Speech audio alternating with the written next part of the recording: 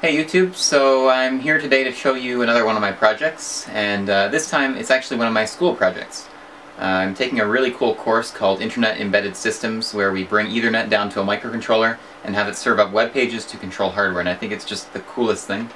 So my hardware is here. Um, basically, I can click a link on the computer, and there's uh, four relays here, which will turn on and off depending on which link I click, and it'll actually tell the browser which relays are on and, and so on. So I'm going to give you a quick demo of this. I'll bring the camera a bit closer so you can see my screen and the hardware at the same time.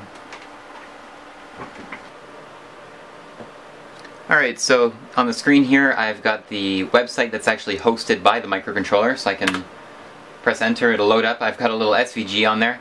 Um, basically I took this SVG off of Wikipedia, uh, opened it up in Inkscape and converted it to a optimized SVG, which basically removes a bunch of cruft that you don't really need.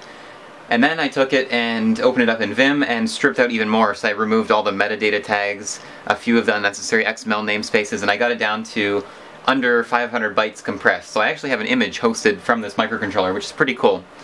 So as you can see there, I've got a little green LED on, um, and that's uh, one of the relays on the board.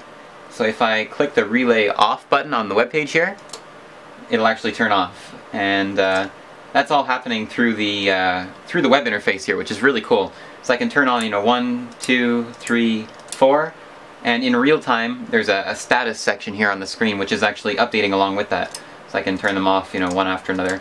Along with that, there goes uh, total HTTP requests, which is how many requests the system has handled since it was turned on, and uptime, uh, days, hours, minutes, seconds, and in the background, milliseconds. Um, it's a really cool project. I'm going to zoom the camera in even closer so that you can see the web page now, um, just to give you a quick idea of how this thing looks. It took a lot of effort um, to get this thing under under 500 bytes per response because that's really small. Um, G-zipping really helps. So I'm going to move the camera up and then you can take a quick look at that. Alright, so I actually managed to get an angle where you can see the, the board here and the and the screen here really clearly. So let me just turn a relay on here. This is a relay 0. There's four relays on this board here. Turn one on and you see the green light there turns on. Um, and the status updates as well. What's really cool is that these relays are like 120 volts, 15 amp capable, so I could theoretically connect a big, you know, lamp to this thing and have it turn on and off and, and do the same from another room and all that kind of stuff. It's, it's really neat. Uh, you got four relays here. Another interesting thing is it actually has some analog inputs here.